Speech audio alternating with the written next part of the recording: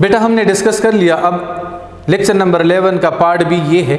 Saturated hydrocarbon हमने पढ़ लिए कि वो ओपन चेन भी हो सकते हैं साइक्लिक भी हो सकते हैं। ओपन चेन को हम कहेंगे नॉर्मल अल्केन या acyclic alkane close chain को हम कहेंगे साइक्लो अल्केन फिर उसके बाद हमने जनरली एक टेबल पढ़ लिया अल्काइल का। अल्काइल का होमोलोगस सीरीज़ ये हमें आगे जो हम नामेंक्लेचर और जब आर्गेनिक केमिस्ट्री आगे हम पढ़ेंगे तो उसमें हमें ये सीरीज़ बहुत हेल्प आउट करेगा नेमिंग सिस्टम में। अब हम आते हैं क्लासिफिकेशन ऑफ़ कार्बन एटम ये तो कहने को तो बहुत आसान सा एक टेबल है, लेकिन ऑर्गेनिक केमिस्ट्री में इसका बहुत अहम रोल है। इससे एमसीक्यूज आते हैं। नाउ किसी भी कार्बन चेन में अगर हमें एक ऑर्गेनिक कंपाउंड का एक स्ट्रक्चर फार्मूला दे दें और हमसे कहें, या, स्ट्रक्चर फार्मूला ना दें, नाम दे दें। और हमसे कहें कि इसमें कितने प्राइमरी कार्बन होंगे तो हम या सेकेंडरी कार्बन होंगे या टर्सरी कार्बन होंगे। तो पहले हम इसको समझते हैं कि आया प्राइमरी कार्बन क्या है, सेकेंडरी कार्बन क्या है टर्सरी कार्बन क्या है। क्वार्टरनरी कार्बन क्या है मिनिमम कार्बन एटम एक अदर कार्बन एटम को अटैच कर सकता है। और मैक्सिमम कितने कर सकता है? One two three four maximum कितने कार्बन एटम अटैच कर सकता है? तो four because of its valency because of its capability to form four sigma bond तो यहाँ प्राइमरी कार्बन किस चीज़ को कहेंगे? प्राइमरी कार्बन उस कार्बन को कहेंगे जो अदर एक कार्बन एटम के साथ अटैच हो। The carbon which is attach with other one carbon atom remember that carbon के साथ अटैच हो। उसके साथ हाइड्रोजन नाइट्रोजन जो भी एलिमेंट हो, उसको हम डिस्कस नहीं करेंगे, क्योंकि हम कार्बन के बेस पर क्लासिफिकेशन कर रहे हैं। तो कार्बन कार्बन अटैचमेंट के बेस पर हम इसको क्लासिफाई करेंगे। तो वो कार्बन एटम जो अदर ओनली वन कार्बन के साथ अटैच हो, उसको हम कहेंगे प्राइमरी कार्बन वो कार्बन एटम जो अदर टू कार्बन एटम के साथ अटैच हो, उसको हम कहेंगे सेकेंडरी कार्बन वो कार्बन एटम जो अदर थ्री कार्बन एटम के साथ अटैच हो, उसको हम कहेंगे टर्शरी कार्बन एंड वो कार्बन एटम जो अदर फोर कार्बन एटम के साथ अटैच हो, उसको हम कहेंगे क्वार्टरनरी कार्बन जिस तरह देखिए, मैंने कलर लिखे ग्रीन तो इनमें जितने भी ग्रीन कार्बन है, ग्रीन कलर के, वो कौन से कार्बन कहलाएँगे? वो कहलाएँगे प्राइमरी कार्बन। क्योंकि ये कार्बन देखें ये कितने कार्बन के साथ अटैच है, ये वाला? ये सिर्फ़ एक कार्बन के साथ अटैच है। तो इस वजह से ग्रीन कलर वाले कार्बन को हम क्या कहेंगे? Primary carbon. तो यहाँ देखें, ये कार्बन भी अदर एक कार्बन के साथ अटैच है। ये ग्रीन कार्बन भी, अदर एक कार्बन के साथ अटैच है। ये ग्रीन कार्बन भी, अदर एक कार्बन के साथ अटैच है। और ये ग्रीन कार्बन भी, अदर एक कार्बन के साथ अटैच है। सो गिवन ऑर्गेनिक कंपाउंड में, हमारे पास कितने प्राइमरी कार्बन है? गिवन ऑर्गेनिक कंपाउंड में हमारे पास one two three four five primary carbon atoms हैं। अगर हम इसको नंबर कर दें one two three four, five, six, seven, eight. तो हमारे पास carbon number one, carbon number five, carbon number six, carbon number seven और कार्बन नंबर एट। ये कौन से कार्बन है? ये प्राइमरी कार्बन है। अब आते हैं सेकेंडरी कार्बन। तो सेकेंडरी कार्बन किसको कहते हैं? शाबाश as the name indicate secondary मतलब वो कार्बन एटम जो अदर टू कार्बन के साथ अटैच हो। तो इस चेन में देखें, ये जो ब्लू कलर का है, ये वाला सेकंड कार्बन ये अदर कितने कार्बन के साथ अटैच है? टू के साथ। तो यहाँ इस चेन में हमारे पास ओनली वन सेकेंडरी कार्बन है, जो कि कार्बन नंबर टू है इस चेन में। इसी तरह, अगर हम देख लें टर्शरी कार्बन तो टर्शरी कार्बन उस कार्बन को कहते हैं जो अदर थ्री कार्बन एटम के साथ अटैच हो। Ter ter mean three tertiary mean three तो यहाँ जो ब्लैक कलर का है कार्बन नंबर थ्री ये अदर कितने कार्बन एटम के साथ अटैच हैं? ये अदर थ्री कार्बन एटम के साथ अटैच है। देखिए वन टू थ्री हाइड्रोजन को काउंट नहीं करेंगे। कार्बन के बेस पर है। तो हमारे पास इस पूरे चेन में कितने टर्शरी कार्बन हैं? We have only one tertiary carbon that is carbon number three और वो कार्बन एटम जो अदर कितने कार्बन एटम के साथ अटैच हो? जो अदर फोर कार्बन एटम के साथ अटैच हो। तो हम उसको क्या कहेंगे? हम उसको कहेंगे क्वार्टरनरी कार्बन ये जो कार्बन नंबर फोर इस चेन में है। तो ये अदर कितने कार्बन के साथ अटैच हैं? वन टू थ्री फोर तो carbon number four in this particular chain is known as quaternary carbon simple हम क्या कह सकते हैं? सिंपली हम कह सकते हैं प्राइमरी कार्बन वो जो अदर एक कार्बन के साथ अटैच हो। सेकेंडरी कार्बन वो जो अदर टू कार्बन के साथ अटैच हो। टर्शरी कार्बन वो जो अदर थ्री कार्बन के साथ अटैच हो। क्वार्टरनरी कार्बन वो जो अदर फोर कार्बन के साथ अटैच हो। That is known as quaternary carbon atom so अगर एमसीक्यूज में आ जाए the given organic compound contain dash number of primary carbon two four five six तो हमारे पास गिवन ऑर्गेनिक कंपाउंड में कितने कार्बन एटम है? हमारे पास गिवन ऑर्गेनिक कंपाउंड में फाइव प्राइमरी कार्बन एक सेकेंडरी कार्बन एक टर्शरी कार्बन और एक क्वार्टरनरी कार्बन एटम है So, this is something about the classification of carbon atom within their carbon chain. अब जो हमने ये पढ़ा है, आते हैं दूसरे टॉपिक की तरफ़, जिसको हम कहते हैं नामेनक्लेचर ऑर्गेनिक कंपाउंड या ऑर्गेनिक केमिस्ट्री में सबसे अहम टॉपिक है नामेनक्लेचर किसी भी होमोलोगस सीरीज़ का। नामिनक्लेचर जो हमने इससे पहले इस चैप्टर में दो लेक्चर पढ़े हैं, जो लेक्चर हम मैंने डिलीवर किए हैं, इस सिस्टम में नामिनक्लेचर में, वो लेक्चर हमें बहुत हेल्प आउट करेंगे। नामिनक्लेचर क्या है? Nomenclature is basically known as naming system अब ये नहीं है कि नेमिंग सिस्टम ये तो नेचुरल एक चीज़ है। जिस तरह देखें, मुसलमानों का नेमिंग सिस्टम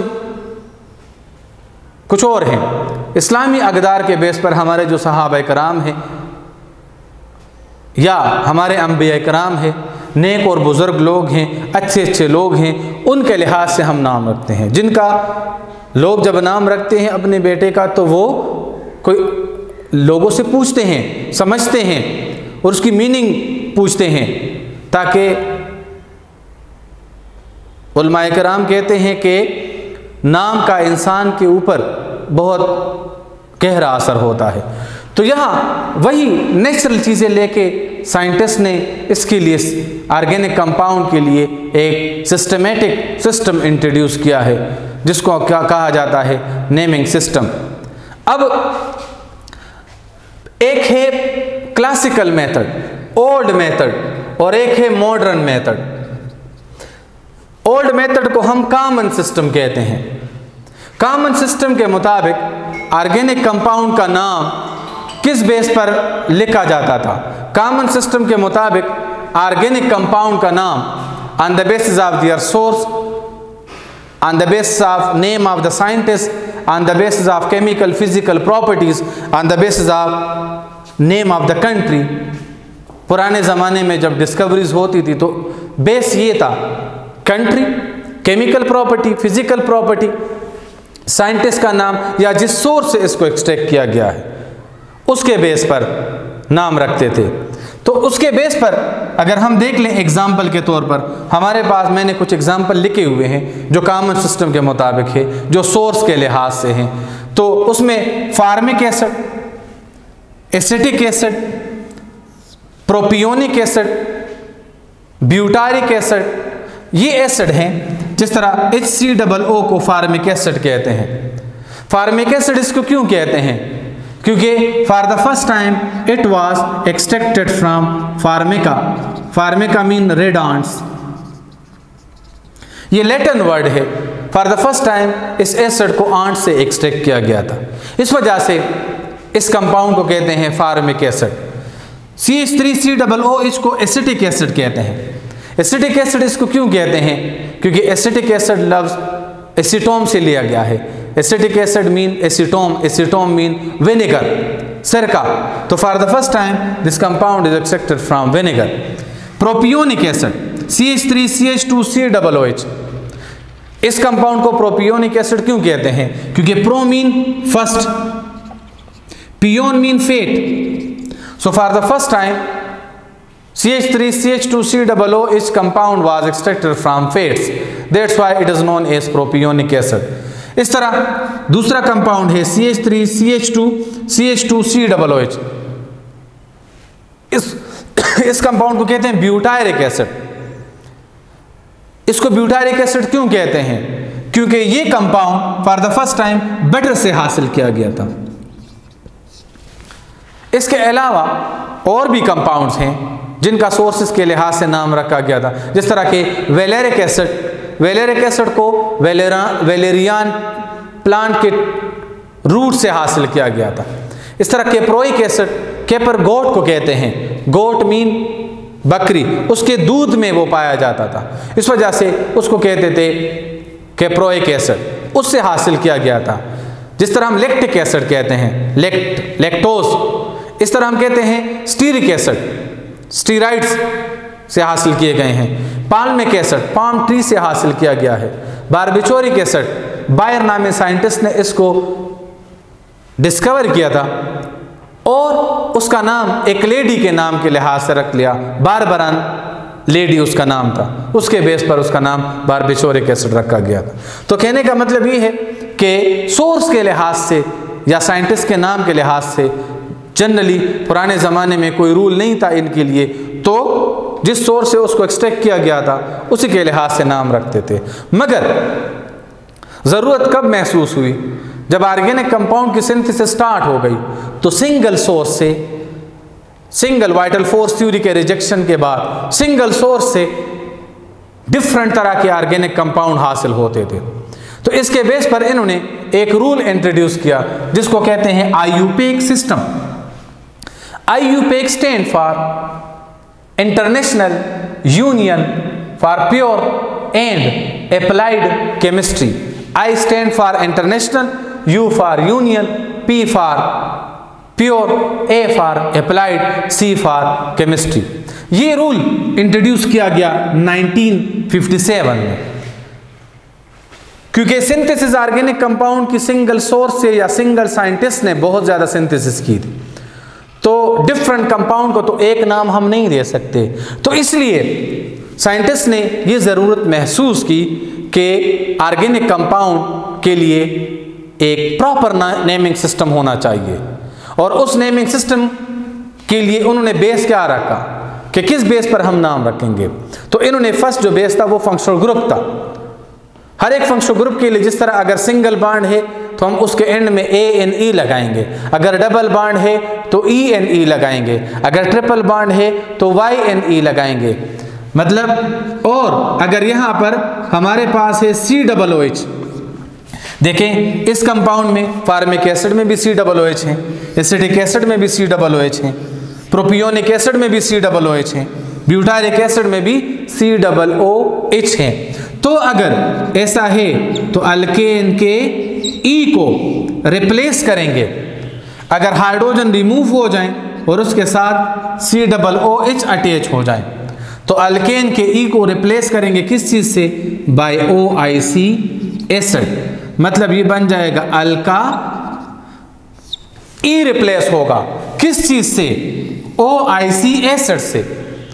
अगर C double O H attach हो जाए तो अल्केन का ई रिप्लेस हो जाएगा किस चीज़ से? सी डबल ओ एच के अटैच होने से अल्केन का ई e रिप्लेस होगा ओ आई सी एसिड से। मतलब अगर यहाँ सी एच फोर है तो हम क्या लिखेंगे? मीथेन लेकिन यहाँ पर क्या है? सी डबल ओ एच यहाँ पर सी एच थ्री के साथ क्या अटैच हो गया है? हाइड्रोजन को रिमूव करने के बाद इसके साथ C double O H ethyl group के साथ क्या अटैच हो गया है? C double O H propyl के साथ क्या अटैच हो गया है? सी डबल ओ एच तो अल्केन मतलब एक कार्बन अगर है तो मीथेन। तो मीथेन के साथ सी डबल ओ एच या एक कार्बन के साथ C double O H attach होने से ई रिप्लेस होगा तो मीथेन से क्या बनेगा? शाबाश। मीथेन से बनेगा मीथानोइक एसिड। तो यहाँ पर फार्मिक एसिड को हम क्या कहेंगे? इसका आयुपेक नेम क्या होगा? मीथानोइक एसिड दो कार्बन है। तो दो कार्बन अगर हो तो उसको हम क्या कहते हैं? ईथेन। लेकिन ईथेन का ई रिप्लेस होगा by O I C acid तो क्या बन जाएगा? इथानोइक एसिड आई एसिटिक एसिड का आयुपेक नेम क्या होगा?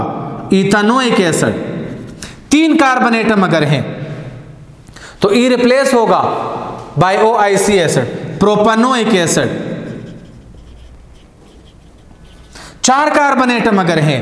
तो ई रिप्लेस होगा अल्केन का by O I C acid तो ये क्या बनेगा? Butanoic acid. पाँच carbon pentanoic acid. Six carbon hexanoic acid. तो ये जो आईपेक सिस्टम है अगर हम सिंगल सोर्स से 50, 100, 1000, 10,000 डिफरेंट ऑर्गेनिक कंपाउंड निकालते हैं और उसमें ये वाला फंक्शनल ग्रुप है तो कार्बन के नंबर के बेस पर हम उसके साथ क्या लगाएँगे? ओ आई सी एसिड लगाएँगे। तो इस वजह से उसकी नेमिंग अब इनकी नेमिंग आसान हो गई है। वो ऑर्गेनिक कंपाउंड जिसमें कार्बोक्सिलिक फंक्शनल ग्रुप हो तो उनमें अल्केन का ई रिप्लेस होगा by O I C acid एक कार्बन तो मीथेन से मीथानोइक एसिड दो कार्बन तो इथानोइक एसिड तीन कार्बन, प्रोपानोइक एसिड चार कार्बन, ब्यूटानोइक एसिड पाँच कार्बन, पेंटानोइक एसिड। इस तरह यहाँ पर सोर्स वाली बात नहीं है आयुपेक सिस्टम में। स्ट्रक्चर के बेस पर इन सब का स्ट्रक्चर सेम है। फंक्शनल ग्रुप के बेस पर फंक्शनल ग्रुप भी सेम है। और ये एक ही होमोलोगस सीरीज़ हैं। ये एक दूसरे से किस बेस पर मुख्तलिफ़ हैं? सी एच टू के बेस पर। तो इस वजह से होमोलोगस सीरीज़ अलग अलग इन्होंने होमोलोगस सीरीज़ बनाए। होमोलोगस सीरीज़ के लिए बेस फंक्शनल ग्रुप है और हर एक होमोलोगस सीरीज़ के हर एक मेंबर का स्ट्रक्चर फीचर सेम होगा। तो स्ट्रक्चर के बेस पर फंक्शनल ग्रुप के बेस पर इन्होंने डिफरेंट होमोलोगस सीरीज़ बना लिए और उसके आयुपेक सिस्टम के मुताबिक उनके लिए रूल वज़ा कर दिए। कि अगर कार्बन कार्बन एटम के दरमियान सिंगल बाड है तो उसको अल्केन। डबल बाड है तो अल्कीन। ट्रिपल बाड है तो अल्काइन। ओ एच अटैच हो गया है तो अल्कनोल, जिसको हम अल्कोहल कहते हैं। इस तरह C double O H attach हो गया तो अल्कनोइक एसिड, जो हम बाद में पढ़ेंगे।